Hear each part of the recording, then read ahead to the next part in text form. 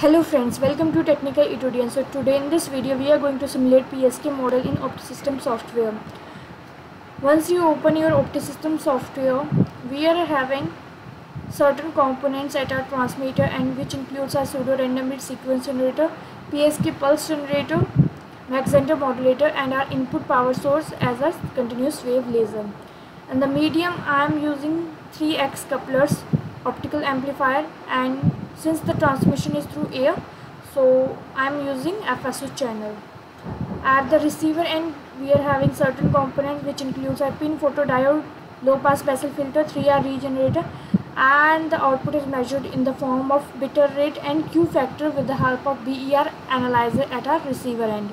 Simply save the model, run it and since we are not getting the desired BER value and the eye diagram. So we do the certain variation in the range to get an acceptable error rate values that is around 10 raised to power minus 19 so the model is similar to ASK model just there are two component variations in the PSK model that is PSK pulse generator and our Mach Zehnder modulator.